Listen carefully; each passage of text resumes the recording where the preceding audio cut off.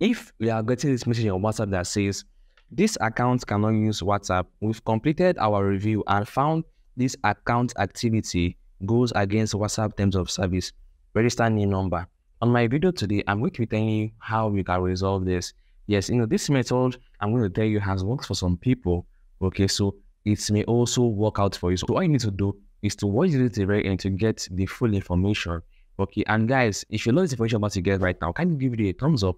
And also do not forget to click the subscribe button below and turn on the bell notification icon so I don't get to miss any of my videos next time. Because guys, on my channel here, I look for ways you can use to solve a social media problem. Just like I'm trying to give you a method on how you can resolve this, you know, error on your WhatsApp that says this account cannot use WhatsApp. Okay, so let's get started, guys. All you need to do is to request a review. Yes, you need to, you know, talk to WhatsApp so that they can help you, you know, unban this thing. Now, what do we do? You go to your browser, okay? Then once you're here, you click on WhatsApp support. WhatsApp support. Can you see it here? WhatsApp support. Then you click on this contact WhatsApp.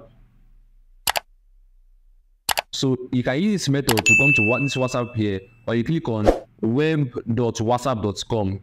Click on it, then it brings you here. Then you click on this three dot over here, these three slashes, and click on help center. So now once you scroll down, you scroll down, then click on contact us. Now you see, it still brought us to the same place.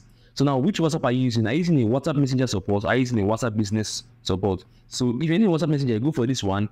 While if you're using a business WhatsApp, go for this one. So now let me say for example, I'm using a WhatsApp Messenger, the main WhatsApp. I click on this contact over here. And now once I'm here, what I need to do is to fill in my details. Okay, now it says, please provide the phone number used for WhatsApp account. That is the affected phone number. You need to put it over here for the affected phone number. And now your country code. You know, wherever country you are in, it has all the country code which WhatsApp is being used in the country. So you click on your country code, then I'll put in your email address. You're contacting WhatsApp support. So you need to put in your email address so that at the end of the day, they're going to mail you, send you a mail if they fixed it and if they do not fixed it, they will mail you and explain reasons why they cannot fix it and what you're going to do in the next step. Okay. So once you put in your mail, now how do you use WhatsApp? Is it through Android, iPhone, web and desktop, iOS, or others?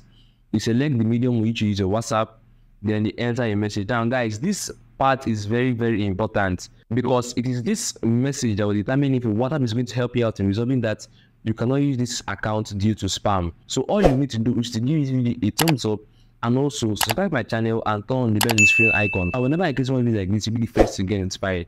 So guys, if you have done that right now, let us continue. Now what you're going to do, I'll put in notes my notes because I already written down the message down for you. So it's going to be very easy for you. I go to my notes and this is the message.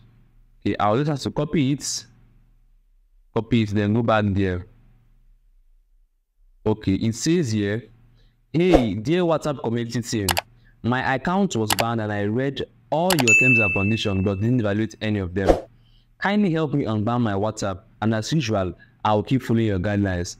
Thank you. So once you send them this message, once you send them this message, click on next step, okay? Now once you click on next step, it's going to automatically send to WhatsApp mail and a human is going to help you check out your WhatsApp and within 24 to 48 hours, they are going to help me resolve your WhatsApp problem. Okay. So guys, I've shown you the steps you need to take if you want to resolve this on your in your WhatsApp.